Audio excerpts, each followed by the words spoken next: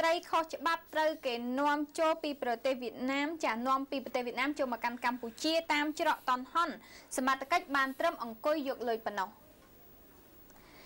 យោងតាមសេចក្តីរាយការណ៍ពីក្រមវិជាប្រវត្តិឲ្យដឹងថាត្រីខុសច្បាប់ជាច្រើនប្រភេទដូចជាត្រីរ៉ស់អណ្ដែងត្រីក្រហមត្រីប្រាជាពិសេសគឺត្រីចាបក្នុងមួយថ្ងៃមួយថ្ងៃរាប់សិបតោន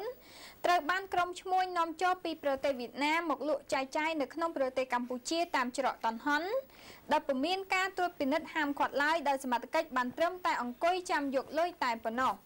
ក្រមប្រជាពលរដ្ឋបាននិយាយថាសកម្មភាពដឹកជញ្ជូនត្រីខុសច្បាប់ពីប្រទេសវៀតណាមនេះគឺធ្វើឡើងនៅវេលាម៉ោង3ទៀបភ្លឺជារៀងរាល់ថ្ងៃ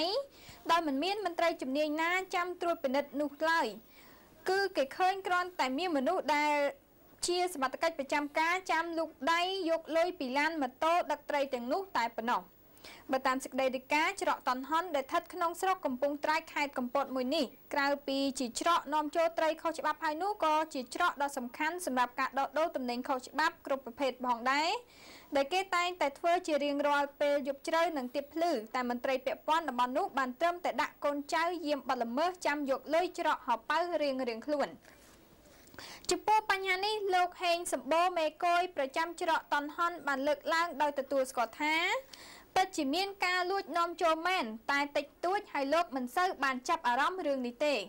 ចំណែកលោកអែមសធាប្រធានប៉ុស្តិ៍ប្រចាំការបានថ្លែងថាពិតជាមានការនាំចូលប្រភេទត្រីខាងលើនោះមែនតែកូនចៅរបស់លោកមិនបានយកលុយអ្នកដឹកត្រីទេគឺយកអត្តសញ្ញាណប័ណ្ណត្រី ចាប់ហ្នឹងបើសិនជាតាមមកដឹងវាបងបណ្ដោយចូលទេត្រីចាប់ហ្នឹងព្រោះយើងដឹងថាត្រីហ្នឹងវាខុសច្បាប់ព្រោះត្រីយើងរដ្ឋាភិបាលយើងបានហាមឃាត់តាំងពីចិញ្ចឹមតាំងពីអីទៅឃើញទេហ្នឹងត្រីនេះវាវាមានតិចតួចទេសម្រាប់ដែលប្រជាពលរដ្ឋគាត់គាត់យកមកប្រើប្រាស់ឈប់ធំដែរហ្នឹងមានតិចតួចខាងកូនចៅផងអត់អត់អត់យកអូនថាអាលុយត្រីលុយគ្នាមិនមែនឈរយកលុយទេឈរនេះគឺជាពលរដ្ឋដែលគាត់ឆ្លងចេញចូល គាត់មានអត្តសញ្ញាណប័ណ្ណមានអីហ្នឹង